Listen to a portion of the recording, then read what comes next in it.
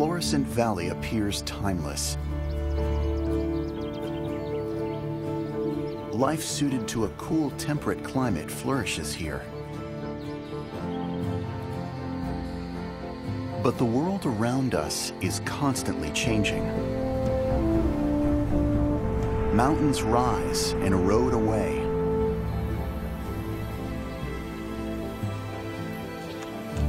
Life thrives and changes in a blink. Our sense of time and the environment around us is grounded in the present. But our planet, its climate and its communities of life have been changing for millions of years.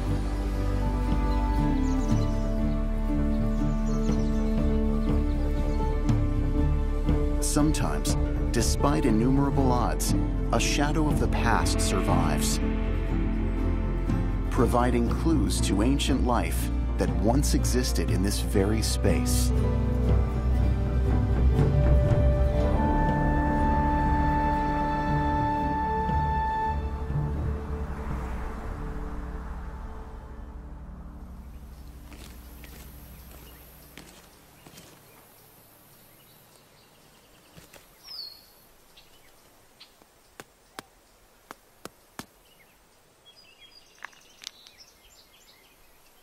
The geology, fossils, and human stories of Florissant Fossil Beds National Monument are part of a common geologic heritage.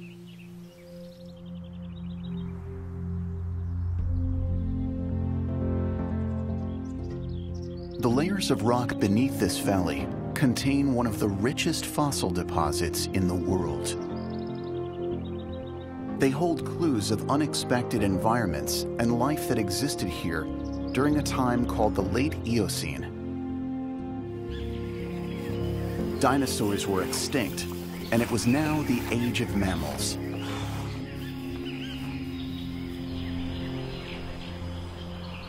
Around 37 million years ago, a distant explosion from a collapsing volcanic crater, known as a caldera, sent an enormous flow of superheated ash and gas racing across the landscape like a volcanic hurricane, incinerating everything in its path.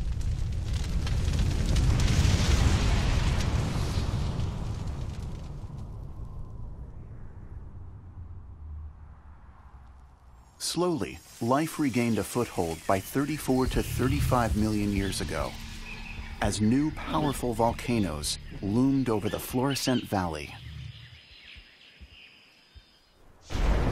Periodic eruptions blanketed the valley with ash and debris. Rainfall saturated the loose debris on the slopes of the volcano, creating a massive, fast-moving mudflow called a lahar. It was miles long and roughly 15 feet tall when it reached the Florissant Valley.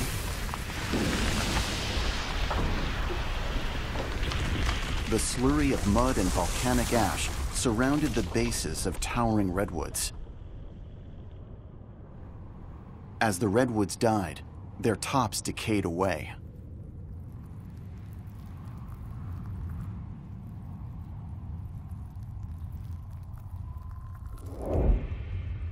Groundwater, rich in dissolved silica from volcanic ash, gradually seeped into the wood, depositing minerals and petrifying it over time.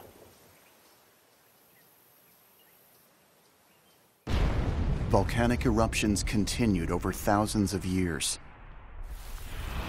Another flowing lahar blocked a stream, creating the ancient Lake Florissant. After several millennia, this lake and the landscape surrounding it nourished an abundance of life. Volcanic ash and clay settled on the lakebed, creating layers of various thickness over time. Single-celled algae called diatoms thrived in the mineral-rich water, then died periodically. The layers compressed and formed a thinly layered sedimentary rock called paper shale. Leaves, seeds, insects, fish, and even birds settled to the bottom of the lake, where they were buried by new layers of volcanic ash, clay, and diatoms.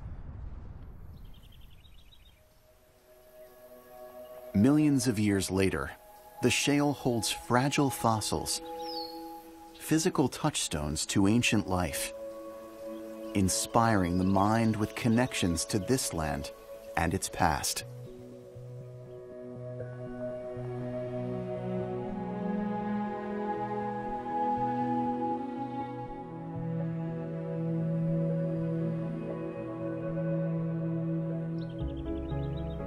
shadows of ancient human history can also be found here. Part of the shared geologic heritage at Florissant. The Ute, Jicarilla Apache, and other tribes consider the area part of their ancestral lands. Tribal members still have a strong connection to this area.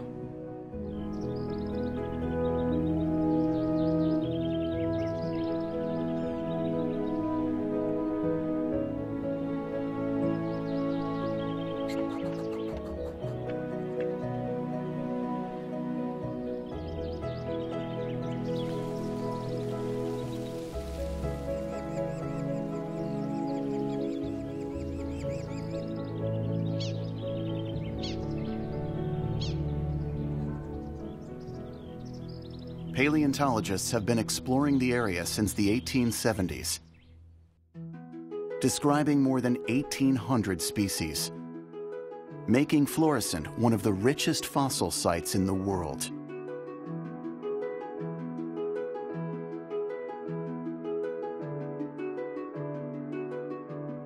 Samuel Scudder conducted an excavation in the Florissant area in 1877 identifying roughly 600 species.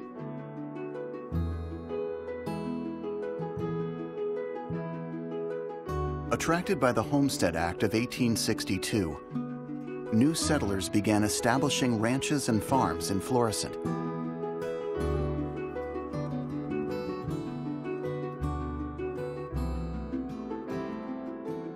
Charlotte Hill collected hundreds of important fossil specimens that she provided to scientists while homesteading and raising six children.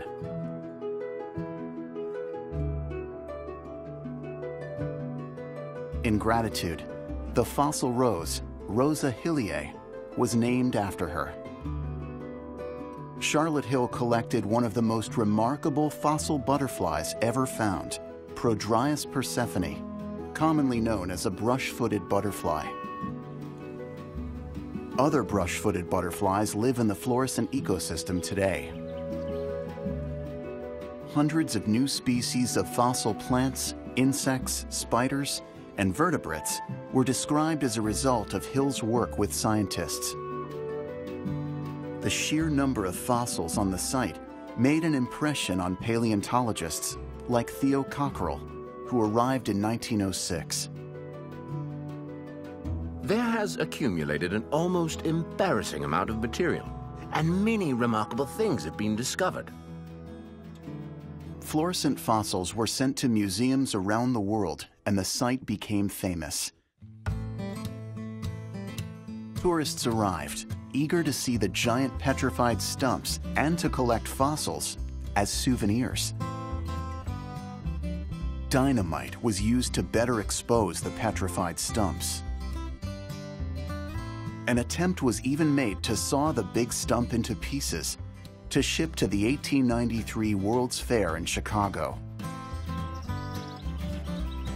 Broken saw blades from the effort still remain.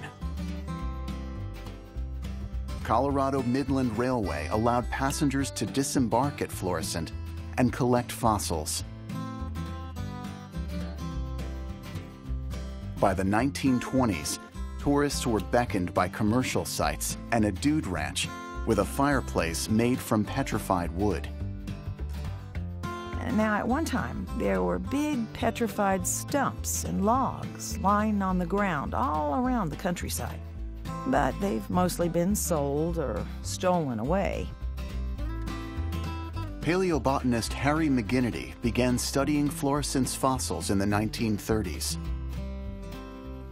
He saw the Florissant fossil area as key to understanding the story of life's past.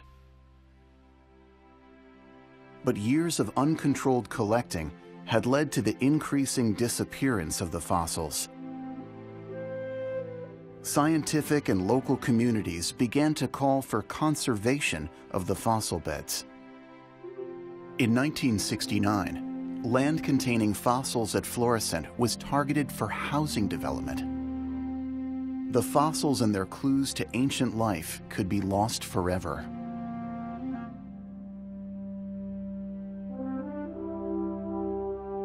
Scientists like Estella Leopold and other citizens formed a group called the Defenders of Florissant. Paleobotanist MacGinitie joined Leopold and others to testify before Congress, and then brought senators to see Florissant firsthand. The land is not of particularly great value for housing or agriculture but as a page of Earth's history, it is priceless. How can man evaluate his planetary environment and visualize his historic place in it if he does not keep and cherish a few touchstones with the past? In a landmark environmental case, a legal team went to court to stop the imminent destruction of Florissant's fossils and their record of ancient life. To sacrifice this 34 million year old record for 30 year mortgages and basements is like wrapping fish with the Dead Sea Scrolls. On August 20th, 1969, national monument status was granted to Florissant fossil beds, safeguarding its geologic heritage for the world.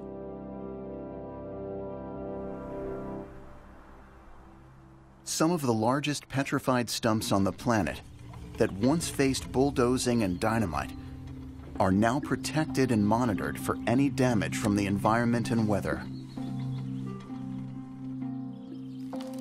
It's estimated that some of these trees were more than 230 feet tall and 500 to 700 years old.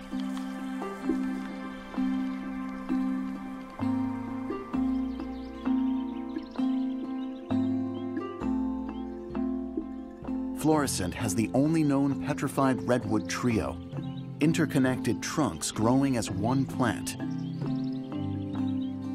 The National Monuments paleontology staff and university partners conduct ongoing research and work to stabilize and conserve fragile shale fossils and petrified stumps, keeping it possible for future scientists to study the fossils with new methods so that they can reveal even more knowledge of the past.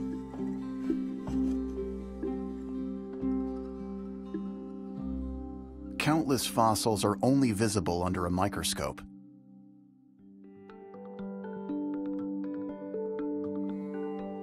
Millions of pollen grains, diatoms, and microscopic invertebrates are preserved at Florissant microfossils are critical for understanding habitat, water quality, and climate here 34 million years ago.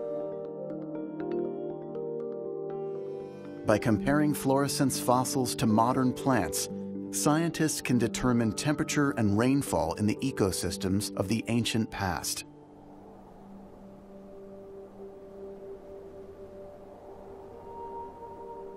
Right after the end of the warm Eocene, there was a huge drop in global temperature. The Florissant climate changed abruptly to a cooler temperate climate. Plants native to the warmer climate either adapted, became extinct, or dispersed to warmer regions. Fossils reveal to scientists how plants and animals responded to climate change in the past modern relatives of the golden rain tree are native only to China, Taiwan, and Fiji. Yet they once existed at Florissant millions of years ago. The two most common plant fossils at Florissant are extinct members of the elm and beech families. Fossils of more than 30 species of vertebrates have been found. The largest vertebrates were brontotheres, giants weighing two tons and standing eight feet tall. Fish skeletons and mammal teeth are the most abundant,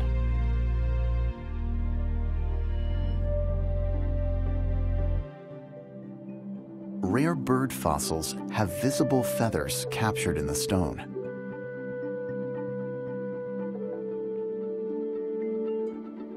Florissant is especially noted for its delicate insect and spider fossils.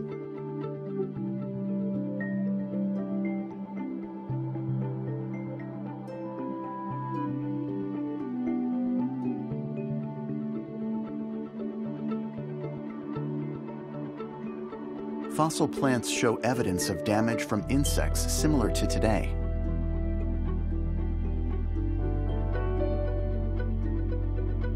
delicate fossil butterflies and moths are very rare. Florissant has more species of these, perhaps, than any other site in the world. This extremely rare tsetse fly is evidence of a different climate that once existed in Florissant. The tsetse fly now lives only in tropical Africa